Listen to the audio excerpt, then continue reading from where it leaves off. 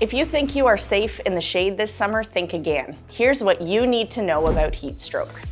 I'm Dr. Erin Gallagher, a family physician and assistant professor in the Department of Family Medicine at McMaster University. We run into problems when our bodily processes for cooling off are overwhelmed. Our body maintains a specific temperature, which is regulated by our brain because our organs work optimally at these temperatures. Our body cools off by dilating our blood vessels, bringing that core body heat to our skin's surface to be dissipated into the environment. It's harder to transfer heat from the body with warmer and more humid temperatures. When you suffer from heat exhaustion, your body's cardiac output is unable to keep up with the rest of the body body systems. You might experience feeling fatigued, lightheaded, a headache, nausea, vomiting, diarrhea, and muscle cramps. Heat stroke is a more serious medical emergency and includes neurological symptoms like changes in mental and physical behaviors, and in more serious cases, seizures, bleeding disorders, organ failure, coma, and death. Young children and older adults are at the greatest risk for heat-related illnesses. Children's bodies aren't efficient at cooling off, and when they're really young, they don't have the same ability to make decisions and physically remove themselves from the heat source. Similarly, older adults are not as efficient in these these processes, but may also be on certain medications that make them more prone to heat-related illness, particularly medications that influence the heart, blood vessels, and volume of blood in the system, such as a diuretic or a water pill. Preventing heat-related illness centers around removing yourself from the heat source and staying hydrated.